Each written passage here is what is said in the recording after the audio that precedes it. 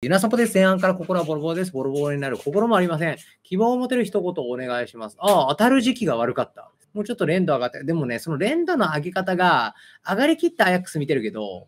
弱いチームに取りこぼすことは少なくなると思うんですよ。スールシャールの頃とか、あのラングニックのこと違って。ただ、強いチーム相手に勝てるほど工夫ができる監督ではないです。ウィングの位置高すぎるとか、ボランチが受ける位置おかしいとか、そういうのずっと直してないから、あの、アヤックスの時から。だからそれの時に別のやり方で、ビッグクラブと戦う時はちょっとカウンター主体で勝てるように、こう、割り切ったり、今日のあの、アントニーみたいなプレーがよく出るようなチームになるっていう。だから、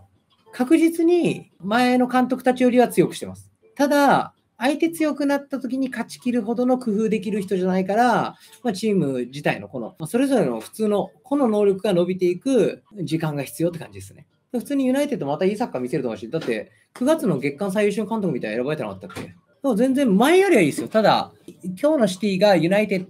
ドのやるサッカーのそのまま上位互換みたいなのをやってたから、同じね、アイコだと、もうその質の勝負になるから。次ユナイテッド当たとと当たるときに、昔ね、ペップ・バルサと当たるとき、モウリーニョは最初ボロ負けしたけど、その後ね、守ってみたいなチームにして、あれ勝ったんだ、引き分けたんだけど、まあ、接戦したみたいなのあったじゃん。そういうふうに、次当たるときに、ホームのときに、どういう戦い方選ぶか、まあ、その時の戦力状況にもよりますしね。シティ全員がロボットで回したんって感じ。いや、全然、あれですけどね、ディフェンスラインのクオリティは高くないですけどね、今日。前の選手たちの精度がエグかったですね、本当に。作ったチャンス、8割方シュートにしたでしょ、もう。アーセナルに勝ってたのは、アーセナルが、まあ、ナメプしてましたからね。ちょっと、はしゃいで録音が使っちゃったから。い